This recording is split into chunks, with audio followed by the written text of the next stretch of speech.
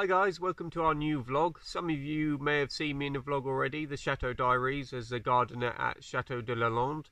This is a separate vlog from that.